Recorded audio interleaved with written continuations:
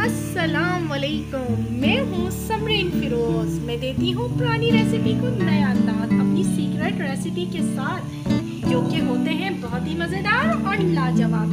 आज मैं एक ज़बरदस्त सी रेसिपी आपके साथ शेयर कर रही हूँ। जी हाँ स्मोकी चिकन चिली मिर्च फ्राई कीमा रेसिपी जो कि बहुत ही मज़ेदार सी ये रेसिपी है। और बहुत ही ज़बरदस्त टेस्ट के साथ मैं आपके साथ शेयर कर रही हूँ। तो चलिए इस मज़ेदार और यमी सी रेसिपी को देखने के लिए वीडियो की तरफ़। यानी साइज़ का प्याज है, मैंने इसे चॉप कर लिया, आप इसे बारीक भी काट सकते हैं। इसे हमें बहुत ज़्यादा गोल्डन नहीं करना है, बिल्कुल लाइट गोल्डन करना है।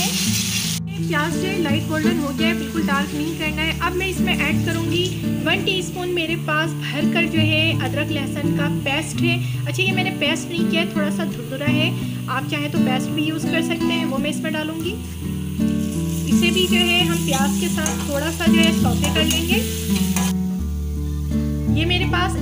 प्याली टमाटर है, जितना मैंने प्याज लिया था, जिस प्याली से, उसी प्याली से एक प्याली टमाटर है, वो भी अब मैं इसमें डाल दूँगी। पिसा हुआ है, चॉप किया हुआ नहीं है, ठीक है?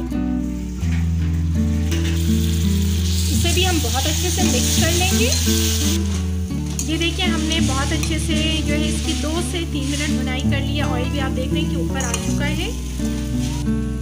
ये देखिए, मेरे पास एक पाव कीमा है, बीफ का है ये, और ये बोनलेस है। आप चाहे तो हड्डियों वाला भी यूज़ कर सकते हैं। मैं इस मसाले में ऐड कर दूँगी।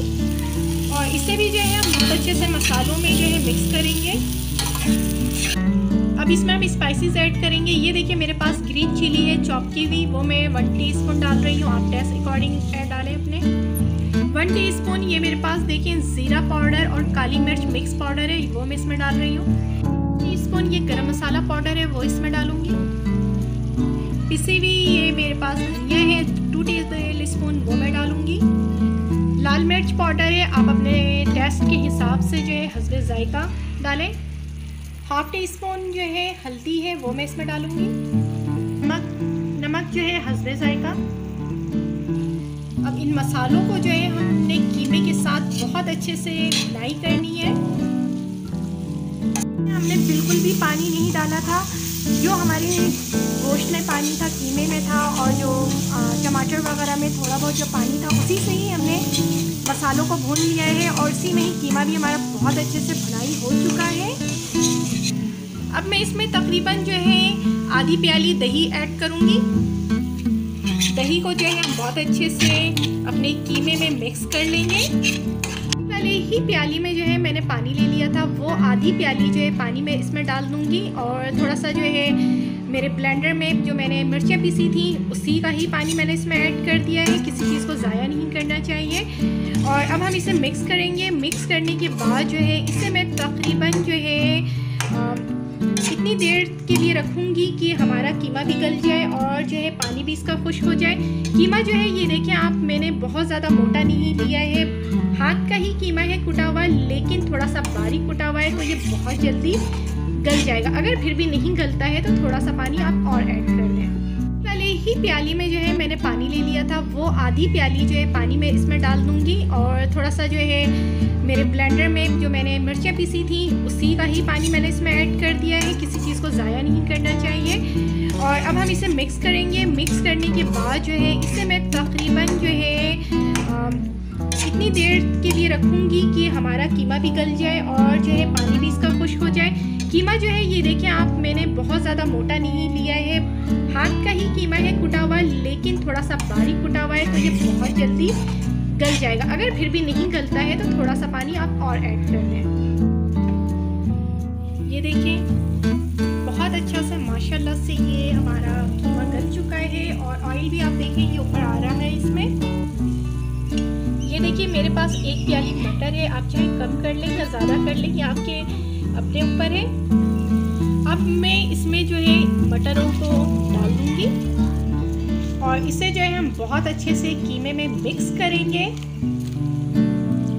अब इसे जो है हम बहुत अच्छे से भुनेंगे और इसे तकरीबन जो है ढक्कन लगा करके हमने जो है रख देना है।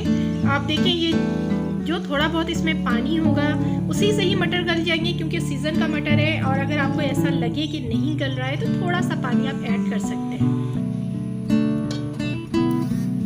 ये देखिए, बहुत ही मज़ेदार सा हमारा ये स्मोकी कीमा बटर चिली तैयार हो चुकी है। बस थोड़ी बहुत चीज़ें जो रह गई हैं, अब लास्ट मोमेंट में वो हम करने जा रहे हैं। इतना बहुत ज़बरदस्त ये देखिए, मटर भी हमारा गल गया है।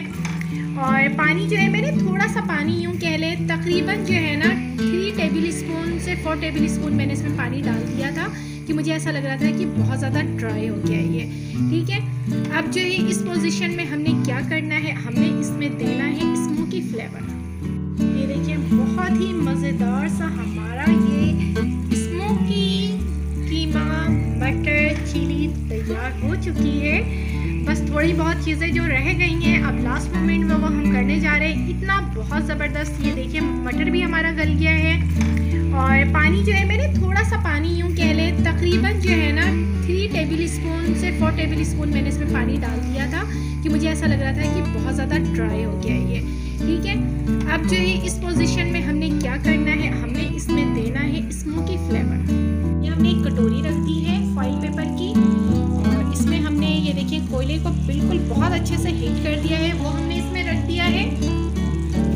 इसमें हम एक कतरा जो है ना ऑयल ऐड करेंगे और इससे जो है हम बिल्कुल कवर कर देंगे, ठीक है? इस तरह से। ये देखिए, माशाल्लाह से बहुत ज़बरदस्त सा इसमें स्मोकी फ्लेवर आ चुका है।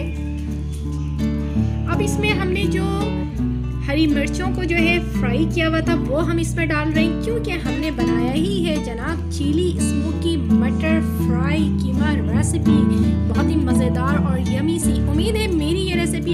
बहुत पसंद आई होगी। पसंद आती है तो मेरे चैनल को लाइक करें, सब्सक्राइब करें और बेल आइकन भी लाजमी प्रेस करें ताकि इस तरह की बड़ी, बेशुमार और मज़ेदार सी रेसिपी मैं आपके साथ शेयर करती रहूँ। इस दवा के साथ कि अल्लाह पाक मेरा और आपका दस्तरखान यूँ ही हज़ार हज़ार नेमतों से सजाए रखे। अल्लाह